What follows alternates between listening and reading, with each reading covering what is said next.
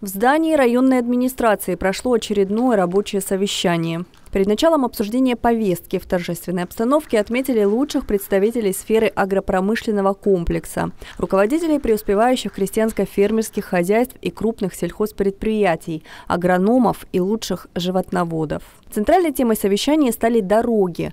О реализации мероприятий в сфере дорожного хозяйства на своих территориях отчитались исполняющие обязанности глав Афипского и Черноморского поселений. Наиболее успешную работу провели в Афипском.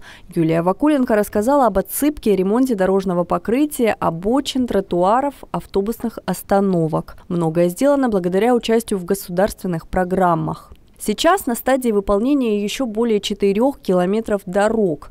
В частности, ремонтируют и проблемный проезд Мира. Дорогу здесь фактически разбила тяжелая строительная техника. И хоть ремонт оказался дорогостоящим, около 7 миллионов рублей, местная администрация приняла решение его осуществить. Это подъезд к детскому саду. Отчет исполняющего обязанности главы Черноморского поселения Евгения Петренко ограничился лишь обсуждением проблемы строительства тротуара между поселками Черноморский и Октябрьский. Подрядчик ожидаемо не выполнил работы в установленный 30-дневный срок. О том, где помимо тротуара отремонтировали дороги и планами на будущее, Евгений Петренко так и не поделился.